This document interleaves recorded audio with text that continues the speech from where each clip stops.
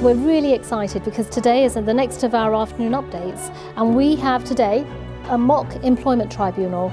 Really excited about this for many reasons, but mostly because employers so often have no idea what an employment tribunal is really like.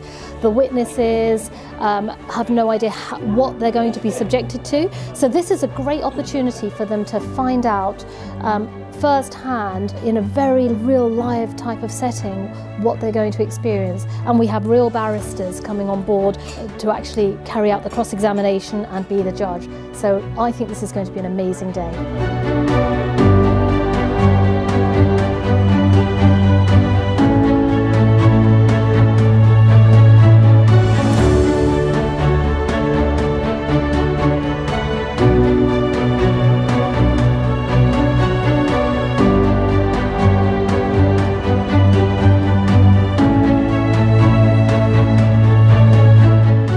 Look forward to welcoming you to our next afternoon update very soon.